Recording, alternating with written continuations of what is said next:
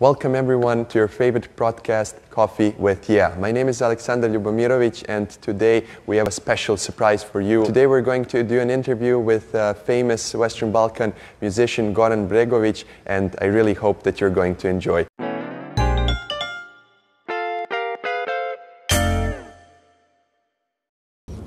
Dobar dan. Hello and Hello. Uh, welcome, welcome to, to Brussels. Um, really honored to, to have this interview with you. So the first question will be, um, like, although we are all like different and diverse within the European Union and the Western Balkans, music has this amazing ability to bring us all together under one joint roof. Uh, what kind of emotions does music awaken within uh, every single one of us so that uh, we forget all of, of our differences? Well, you know that music scientifically is first human language. They found one flute in Germany 20,000 years old, which means that human beings had music and they did the music. They make the music before they learn how to speak, before religion, before politics, before anything. So if you speak good this language called music, it's communicate, of course, easily. It's uh, something that is deeper than language. You know, you can. There are some writers who write on the foreign languages, like I don't know, Milan Kundera. He writes on French, or Salman Rushdie. He he writes on English. But music, you always it, you will always feel from where it comes. I don't know, from Stravinsky to Gershwin to Bono, Lennon, McCartney, you will always know that what is behind, what is grandfather and grandmother of this music.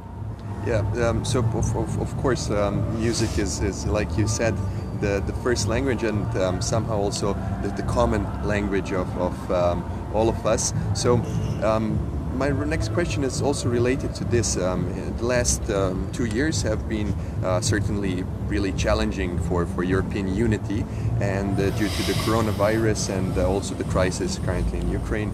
Uh, but um, what is the role of, of music in these uh, challenging times, and how can music help us to, to overcome our boundaries, our differences?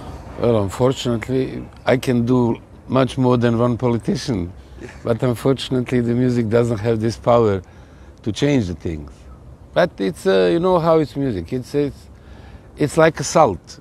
You can eat without, but it's not the same taste.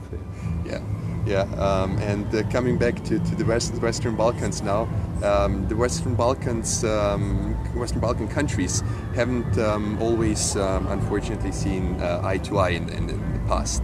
How can music influence to, to break these long-lasting prejudice and historic boundaries in our region? Uh, can music heal the wounds of, of the past?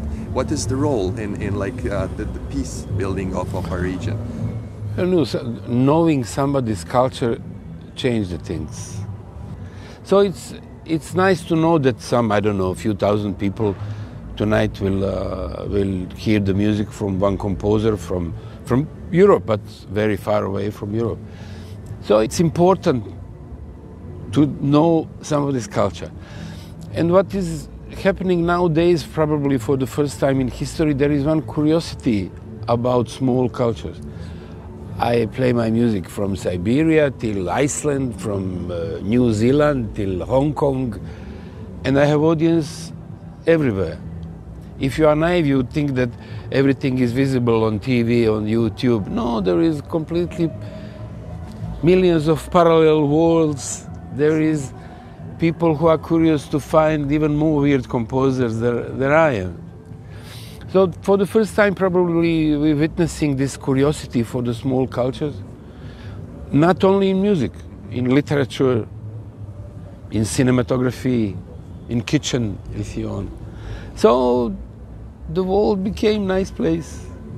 Of course, and um, in, in my modest opinion, you're you're a um, musician that um, can also unite our our um, countries in the Western Balkans. You're listened to all over, not only our region but also uh, worldwide, and um, also the the youth. The, mu- the music make easy the things which po- for politicians is impossible, especially on the place where the music was since always done just for drinking. we don't have uh, anything serious, you know. It's uh, on the time of the first opera of Monteverdi, Orfeo, we had just instrument for one chord, gusle. That's the same instrument that was accompanying Iliad and Odyssey. So the, our music was since always just for drinking. So it's easy to put us together around the table drinking and singing. Unfortunately, politicians make things much more complicated. Yeah, so, so um, as, as famous persons and, and a famous musician, what, what message would you send to the youth of, of the Western Balkans? What is your message to, to us and to them? But it goes that borders are open, that people travel, that there is internet. There is a lot of ways to know the world, not to be stuck, because this is dangerous. If you think that world finished on your on your hometown border or your state border, it's dangerous. So it, I think everything goes much better than it was before, and the world is getting better. Of course, definitely, definitely. Um, so um, this is going to maybe be an interesting questions for you. Um, which three songs, in your your opinion, uh, in the best way describe uh, or represent the Balkans? But you, you know, songs are always uh, I don't know moment of fashion, if you want. But I will I will recommend uh, to listen my my violin concerto called Three Letters from Sarajevo, which was commissioned from uh, Basilique Saint Denis in Paris, and it was written for for Orchestre National de, de Ile-de-France violin was my first instrument. So, you know that violin is, is, is played in three main manners. Christian, how we play classical music. Klezmer, how plays Jews, which is one different, quite different technique. And Oriental, how Muslims play uh, violin, which is completely different technique. So I wrote one violin concerto for actually three violinists that comes from those three traditions and symphonic orchestra and, and, singers. So probably, you know, if you are in rush, you, you just go on YouTube. But if you are not in rush, have patience for one violin concerto. There are some people who, who can accept those kind of signals, which are not that fast, but slow signals if you have time, when you have time. One final question. Um, so, what what is the purpose of like um, music festivals in, in general? Um, what kind of message will you send um, this evening, and uh, why it is important like uh, for these events nowadays? What is their primary goal?